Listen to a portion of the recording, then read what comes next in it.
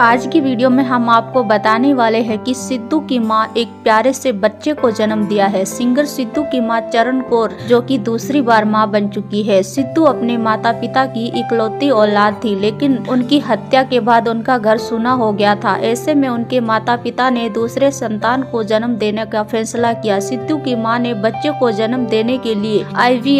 तकनीक का सहारा लिया उनकी उम्र करीब अठावन साल है इस उम्र में वे दोबारा बच्चे को जन्म दिया है है ऐसे में कुछ लोग के मन में यह सवाल भी आ रहा है कि क्या इस उम्र में आईवीएफ से बच्चा कैसीव किया जा सकता है आपको बता दें कि सिद्धू की मां दूसरी बार एक प्यारे से संतान को जन्म दिया सिद्धू के जाने के बाद उनके घर पे कोई संतान नहीं था ऐसे में उन्होंने ये फैसला लिया और सिद्धू की माँ दूसरी बार एक प्यारे से बच्चे को जन्म दिया है इस वक्त उनकी फैमिली में काफी ज्यादा खुशियों का माहौल है आपको बता दे की सिद्धू की माँ ने एक प्यारे से लड़के को जन्म दिया है अगर आप भी सिद्धू के चाहने वाले हो तो उनके माँ बाप के लिए कमेंट करके बधाई जरूर दे हमारी तरफ से उनको कॉन्ग्रेचुलेसन उनके घर पे एक प्यारा सा लड़का आ चुका है मिलते हैं अगले एक नई वीडियो के साथ वीडियो देखने के लिए धन्यवाद